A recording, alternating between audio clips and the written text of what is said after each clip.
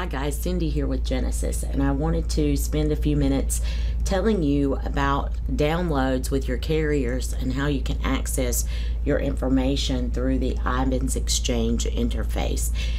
If you're not already using downloads, it's a great way to receive electronic information related to your policies. Most carriers do downloads. There are a few that don't, but you can always reach out to your rep to find out if they provide downloads to your agency. You will need an Ivans mailbox to begin with, which your carriers can also provide to you if they sponsor those. And once you have that, you will receive an email that gives you a link to sign up for Ivans Exchange. Once you've done so, you will go to the URL that you see right here on the screen put in https colon slash slash exchange.ivansinsurance.com put in your username and password and you will have access to all of the information that's being sent to your Ivans mailbox. Now I'm going to show you a little bit of what about what that looks like. This is the dashboard. It shows you your agency name. It also shows you your Y account at the very top of the screen. You have two tabs here, dashboard and connections, and you can flip back and forth between those two. Your dashboard has information like all of your trading partners and it gives you a little graph that shows you how many transactions you've had with those trading partners over a certain period of time. It also shows you a graph with your available connections. You can click this link to see what your connections are as well. Then you have your agency transaction trends graph down here that shows you from 2015 to 2016 how many transactions you've had per line of business. Um, you can see all of your other lines of business over here on the side. You also have the ability here to drill down a little further. If you click the three bars over to the side of your screen, you can access your agency's profile and your mailbox. Let's take a look at the mailbox because that has some really relevant information. The first thing that you're going to do is make sure that you put in a date range. Ivans will allow you to go back 90 days.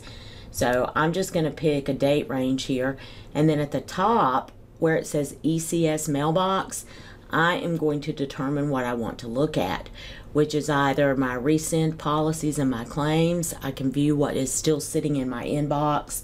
I can look at what's in my outbox and I can also see my received files, my sent files, or a mailbox summary. When I'm looking at this, I'm usually either looking at inbox or received files because I generally want to see if I've actually gotten a particular client from one of my carriers. So let's do received files in this case. Again, we'll put in our date range and we'll hit search.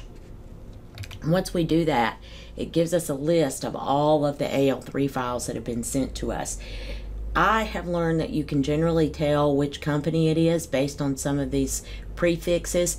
Like this is going to be Insurance House, this one's Inagon, TMIC is Universal, Orion is um, Dairyland.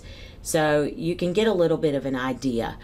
Once you pick the one, let's say I'm looking for a client that came that was supposed to come from Insurance House. I want to see if they sent their renewal offer or not. I can click this file and I have the ability to see all of the clients that came in that file.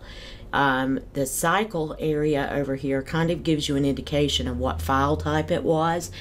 RWL would be a renewal, PCH would be a policy change, RWQ would be a renewal quote, um, and there are a variety of others. I can also download this file again. So if I want to download it to my computer, I can do that and I have the ability to resend transactions. Let's go back out to the main screen again and I'll show you a couple of other things that you can do here. So if I search again, let's say I missed all of these or they went to the wrong place for some reason.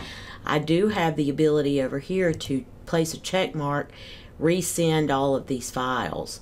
Um, if something's sitting in your inbox, You can also place those files on hold if you don't want those to send. And right now I don't have anything in my inbox, but you see I have the ability to check the box over here, place any particular AL3 files on hold, and then I can go back in and release those if I'd like. So that's just a quick summary of how you can use Ivans Exchange. I hope that you guys find this useful. If you have any questions, um, let us know. Thanks.